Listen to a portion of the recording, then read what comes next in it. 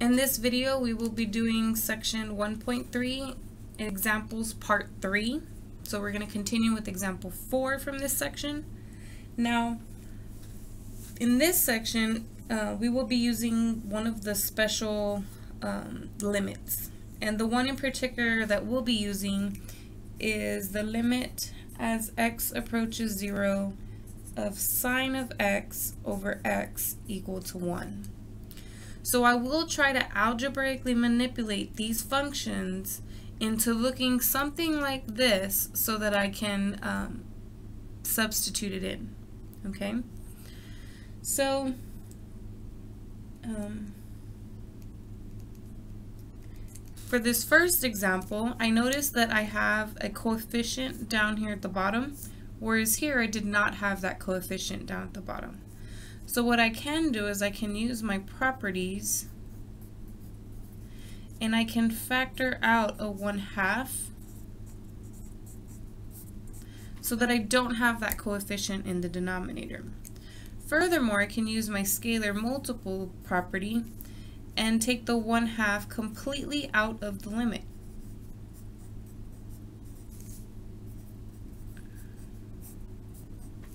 And as long as this angle and this denominator are both going to 0, and since x is going to 0, that means this argument or this angle and this denominator are both going to 0.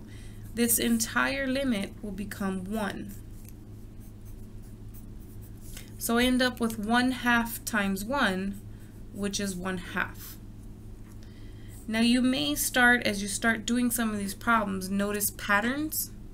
However, when you're doing the problems on the test, you have to justify why you have the answer that you have or why you chose the answer that you chose. It is not simply enough just to recognize, oh, I remember every time I did a problem like that, it just ended up being 1, two, 1 over 2.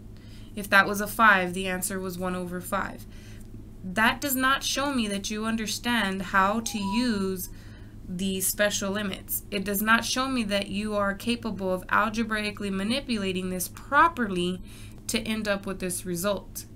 Memorizing patterns is not enough in this particular course. At this level, we need to ensure that you are capable of applying theorems, applying logic, and applying um, your strategies, okay? It's not enough to just recognize, oh, when I do this problem, I end up with one half, so my answer is one half, without showing any of the justification on how you got that one half. Okay? So a lot of times in these, especially on the test, it's not going to be enough just to get the right answer.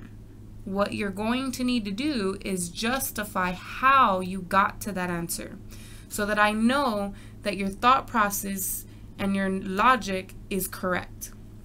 That is what's going to be hard to determine without anything written down. So when you're taking your test, you do have to write down every single thing that you're thinking, okay? Every single thing. If you factor something out, if you anything that you do, you have to write it down so that you're communicating to me what is going on. Okay? Recognizing patterns is not enough to show me that you understand the processes, the theorems, and the applications. Okay? So please keep that in mind. That is one of the biggest complaints I get in this course is that I don't accept correct answers because they didn't do it my way, which is not correct.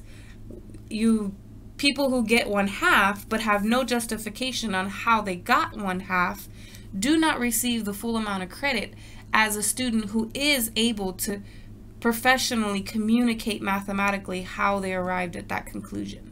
It's not a matter of what I like versus what I don't like. It's a matter of getting my students into the habit of communicating mathematically. And that is the one of the goals and one of the focuses of this course, okay? Once you leave here, you need to be able to express yourself mathematically on pieces of paper in any other course that you take afterward. Okay? The reader needs to be able to understand what you were thinking. Okay? I just want to stress that out here because as we go through the rest of them, you'll start to notice what the answer is going to be, but you have to show the justification of how you got that answer. Okay, you have to show that algebra manipulation that you're doing. Okay, continuing with example 5.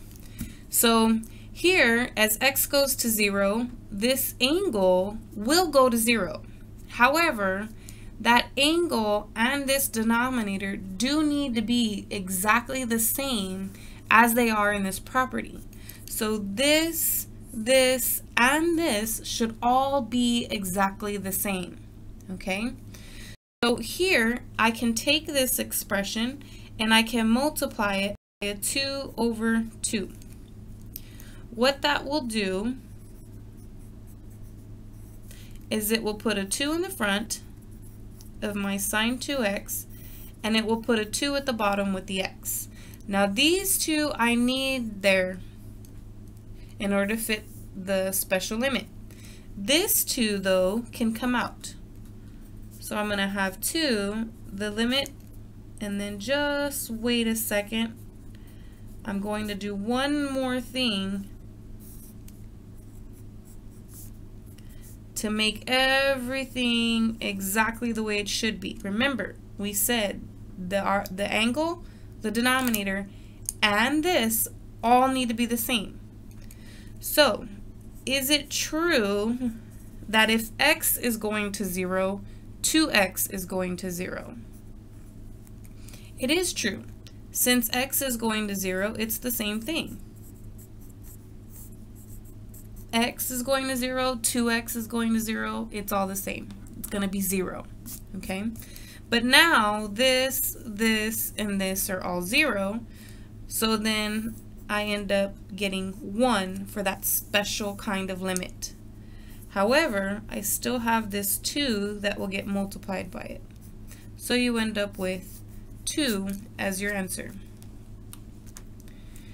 Now our last example, example 6. So we've got a couple of things going on. We have the problem from example 4 with an extra coefficient and downstairs. That's an issue here. Okay, so I could do the same thing as I did before where I factored that out. But I also have the same situation as I did with example 5 with that having a 3x in the angle. So I'm going to do the same thing as I did for the previous problem. But I'm going to specifically put this 3 down here with the x and this 3 over here with the fraction.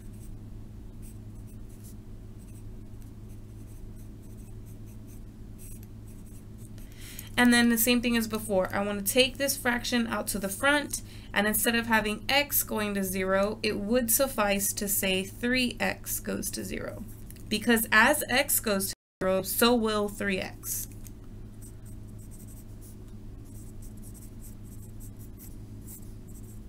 But I do have that 3 fourths out in front. So then all of these match, so this will all come out to be 1, but I still have that 3 fourths in the front which means I end up with 3 fourths. Now again, I know you see the pattern. There's a 3 up here, so I have a 3 up here, and I have a 4 downstairs, so I have a 4 downstairs. But you must show how. How does this become this? Okay? Don't just recognize the pattern. The pattern helps in checking your answer, maybe, or knowing at least what the answer should be, but your work is what I will be grading, okay? I want to make sure you understand the logic and how to apply this property that's up here, okay? How do you apply that to get to that 3 fourths?